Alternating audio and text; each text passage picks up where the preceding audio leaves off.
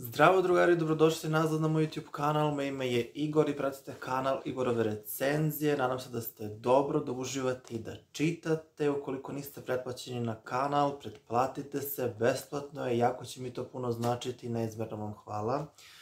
U ovom video snimku ću vam ispričati u narednim minutima svoje najiskrenije utiske povodom jedne knjige koju sam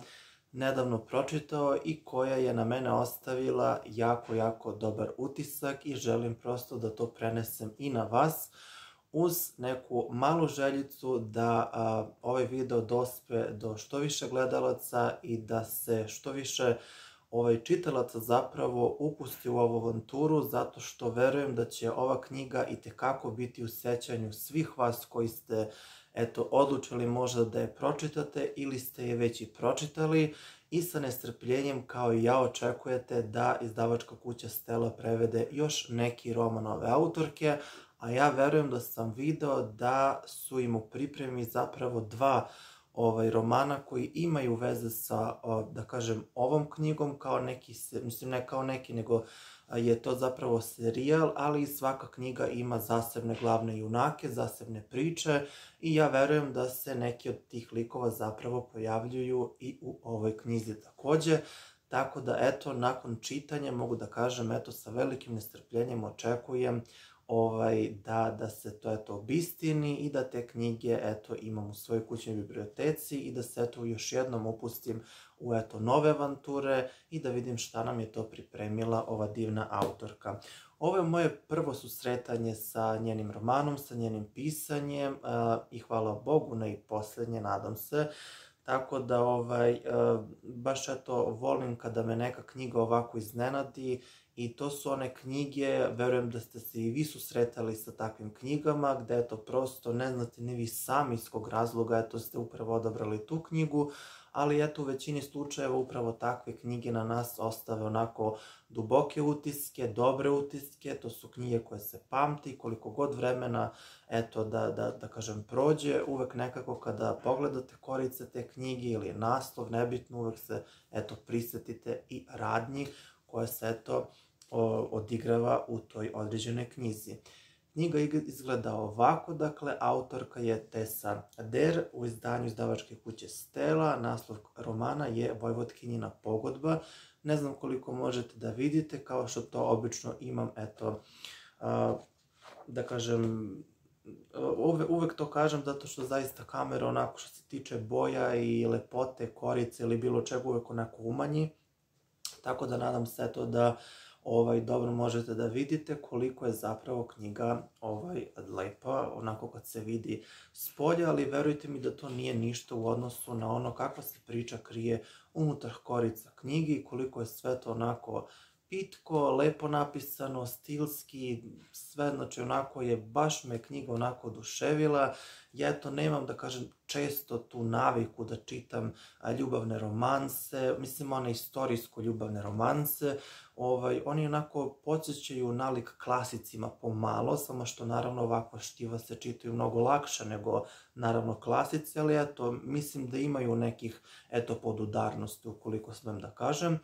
A, Tako da sam, eto, ne znam ni ja iz kog razloga, eto, odlučio da pročitam ovu knjigu. Ima 310 strana za čitanje. Koliko god vi onako čitali usporeno i koliko god vi onako, ovaj, e, prosto, pogotovo kada se radi o dobroj knjizi, koliko god mi usporimo kao čitaoci, prosto smo s neke druge strane i željni da saznamo šta će se to dešavati ovaj, i dalje do kraja knjige, ali kada su u pitanju dobre knjige nekako, da li zato što su, nažalost, u poslednje vreme sve ovaj, ređe i ređe, mislim, naravno, sve u zavisnosti kakav je ovaj ukus svakog čitaoca i naravno koliko je nešto meni dobro, nekome može biti loše i obrnuto, ali eto danas, nažalost ili na sreću, znate i sami da svako bukvalno može da postane pisac, nekada to nije bilo tako i upravo zbog toga i volim kada me eto neki autor, da kažem, odvuče u prošlost, ovaj, tako da kada su bile vojvode, grofovi, one ogromne haljine, balovi, eto volim ponekad eto da mislim odem tamo, ovaj, da se eto vratim u prošlost, jer nekako u to vreme je sve bilo mnogo vrednije i do nekih eto titula se dolazilo ovaj na mnogo teži način. Ali bože moj, ovaj verujem da se sve dešava sa razlogom. Što se tiče likova ove knjige, verujem da će svaki lik da vam ostane upečatljiv, ne samo lik Eme, ne samo lik Ashberija, već prosto svih onih koji se javljaju ovaj, u, u, u dijalozima i monolozima, dakle to su i sluge te kuće, Emine drugarice koje će kasnije ovaj steći i zapravo te drugarice su, da kažem, glavne junakinje narednih knjiga koje nas očekuju. Eto, to mi je bilo onako skoro simpatično kada mi je jedna divna devojka na Instagramu ovaj, to je to potvrdila i rekla šta se zapravo dešava nadalje u tom serijalu. Ukoliko me ne pratite na Instagramu i na društvenim mrežama, ostavit ću vam se u onom infoboksu ispod videa, tako da možemo i tamo da se družimo, da se zezamo, da imamo debate o knjigama i tako dalje i tako bliže.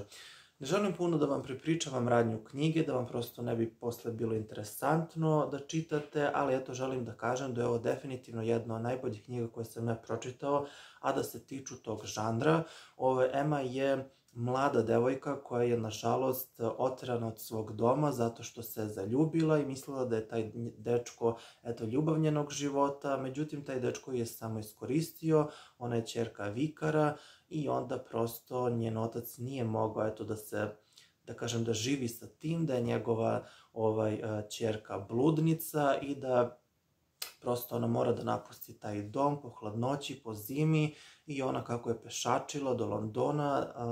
prosto ostala je, da kažem, i osakaćena. Ovaj, vidjet ćete sami kako i zašto, ima u jednoj sceni opisano, ovim da, da vam ne prepričavam sve, međutim ona je to uči zanat, postaje krojačica koja je i tekako dobra u onome što radi i zarađuje, eto, polako ali sigurno za svoj život i staje na noge. Sa druge strane, dakle, ona je, želim da kažem, neke karakteristike vezane za Emu, ona je zaista veoma, veoma harizmatična osoba i to su vam drugari oni profili ljudi koji, koje prosto želite u svom privatnom životu kao najbolju drugaricu, kao rame za plakanje, kao neko ko će uvek da vas motiviše kada padnete i to su ljudi koji su onako vedri, puni samopouzdanja, puni ideja, puni pozitivne energije i čini mi se da u stvarnom životu takvih ljudi je sve manje i manje, nažalost, tako da bi meni eto dobrodošla jedna drugarica poput Eme, da me onako uzdigne kada psihički padnem i koja će me onako povući za ruku i reći ajde Igor idemo dalje, nije to ništa.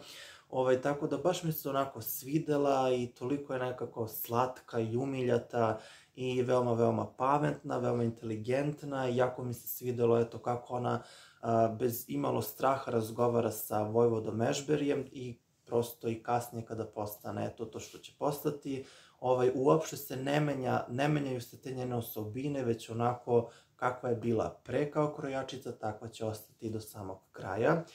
Sa druge strane imamo Vojvodu Ešberija ili Tiješa koji se vraća iz rata i koji je onako sušta suprotnost od Eme. On je onako e, prosto e, čovek koji je izgubio sve roditelje kada je bio mali, raketa koja mu je puknula blizu ovaj jednog dela lica i nažalost ostavila mu je doživotne ožiljke on se, da kažem, na neki način i krije, a ne voli izlaske, ne voli društvo, ne voli da se šali, ne voli ovaj, bilo šta što je to, da kažem, je suprotnost od, da kažem, tame, mraka i tako dalje i tako bliže. On će biti veren sa jednom uh, devojkom Annabel Worting, međutim ona kada ugleda kakav, kako on izgleda na svetlu, ovaj, ona će se prosto uplašiti, imaće nagon za povraćanjem, to njega povređuje, on raskida tu veritbu. Međutim, Ema je ta koja je krojila ovaj, tu venčanicu i ona tako sa sve venčanicom ovaj, um, zatiče Emu, ona upada kod njega i prosto traži da joj neko plati za taj njen trud i rad, iako do venčanja neće doći, zato što ona mora da plati kiriju i da prosto devojka ima od čega da živi. Međutim, mešite kako svestan da on mora podhitno da pronađe nevestu koja će odgovarati eto, da kažem, njegovim ovaj, standardima i kada ugleda Emu u venčanici, ovaj, on će prosto imati eto, utisak da je upravo ona ta rođena za tu ulogu, da kažem, zato što ta buduća nevesta će imati jasan zadatak kada zatrudniš, dobit ćeš svoju kuću i prosto odgajaćeš mog naslednika kome će pripasti veliko bogatstvo, jer ukoliko Eš ne bude imao naslednika, svo to bogatstvo ovaj, sav taj uticaj društveni, sve će to otići, da kažem, u vetar i sve će nestati. Tako da, eto, naravno, Ema nije luda da odbije tako nešto i ona će pokušati, eto, na raznorazne načine da dopre do njegovog srca, da ga upozna onako kakav zaista jeste i kada to shvati, zapravo će uvideti da Eš je jedan jako, pre svega, pravedan čovek, čovek koji je i tekako prošao sve svašta u životu, čovek koji je i tekako, da kažem, svestan gde se nalazi, kako je društvo, ovaj, voli tu pravdu, vidjet ćete sami, da vam ne prepričavam sada sve, bilo bi glupo zaista, ali sve te njihove scene, njihove pošalice, njihove te varnice, njihove te slatke svađice između ovaj parova koji se simpatišu i zaljubljuju jedno u drugo je zaista onako preslatko i eto koliko je bitno, hoću da kažem, da prevodioc bilo koje knjige mora prosto da shvati tu svoju odgovornost i da mnogo zavisi upravo od, stra, od, od strane prevoda, a, kako knjiga ne bi bila uništena i kako bi prosto to što je prevedeno imalo smisla kada mi čitaoci to ovaj, čitamo, jer znati sami drugari da je mnoštvo knjiga, nažalost, koji su prosto uništeni prevodom i to što čitamo prosto em nema smisla, em nije lepo prevedeno i nekako čitav taj utisak koji imamo trenutno u toj knjizi, koliko god ona dobra bila, prosto opada. Tako da baš mi onako godilo, m, gotovo uvek je vedrina u vama kada čitate celokupnu knjigu, svih 310 strana, ovaj, knjiga se čita jako, jako brzo, kažem vam, prosto nekako imate utisak kao da ste tamo ovaj, sa njima prisutni, zaista, zaista divno, tako da ću se ja u buduće eto potruditi, pošto imam već neke knjige koje onako strpljivo čekaju, a imaju ovakav ili sličan žanr, to su one knjige od BDR Media, ove izdavačke kuće, znate sami, ovaj, mogu se pronaći eto, po jako povoljnim cenama, tako da eto, prosto a, želim da kažem da ovu knjigu preporučujem zaista od srca svim generacijama, kako mlađim, srednjim i starijem, verujem da će svako da nađe načina da uživa, eto, makar u nečemu što se nalaze u ovoj knjizi. Sa druge strane, hoću da kažem kao, ne mogu da kažem kao mana ili kao nešto što ja, eto, imam loše da kažem za ovu knjigu, ali prosto bit će nekih scena gde prosto ponovo dolazimo do toga da se ženski rod omalovažava i da prosto muškarac daje na znanje ženi zašto je, zašto je žena rođena i da je muškarac muškarac, a žena je žena. Tako da hoću da vam kažem da se nadam da to, drage moje dame, ovaj, nadam se da to nikada ne dozvoljavate vašim ovaj, partnerima, prijateljima, drugaricama, kolegama, bilo kome, da vas na bilo koji način ovaj, uniže, zato što je to jako ružno i zato što svako živo biće na ovoj planeti treba da ima podjednaka prava, ne treba niko da se malovažava, da se ovaj, spušta na neki nivo, ja sam ovo, ja sam ono, tako da to je na, nažalost bilo pre nekada tako, gde su eto žene ovaj, imale te neke uloge, nažalost, ali eto, nadam se, mislim, ne nadam se, ja znam da toga ima i dan danas i nadam se eto da, nažalost, toga više ima u, u sredinama gde, gde to ima manje ljudi, gde je neko manje naselje, selo i tako dalje, ali eto, nadam se eto da će toga biti sve manje i manje, da će jednog dana ispariti u vazduhu i da ćemo svijetu živeti onako kako mi želimo i da ne treba niko da nas, eto, da ne trebamo biti nikome bilo kakva marioneta ili ti krpena lutka da s nama radi šta god hoće, tako da to nikako.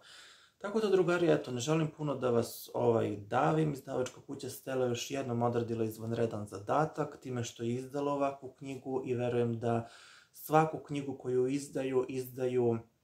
ovaj namenski, zato što znaju da će se to većini čitalaca svideti, neću reći svima, bilo bi ružno.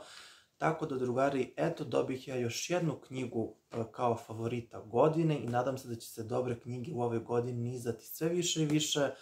Hvala vam puno na lajku, dislajku, komentaru, ove, hvala vam zaista na svoj podršci, jako mi puno prija, hvala vam što ste mi vetar u leđe, što mi dajete zapravo ovaj, e, taj vetar u leđe kada ja malo padnem, što me podržavate.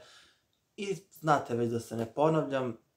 zapravo veliko vam hvala, evo i srce jedno i to će biti to, a mi se vidimo i čujemo nakon sledeće pročitane knjige, ćao!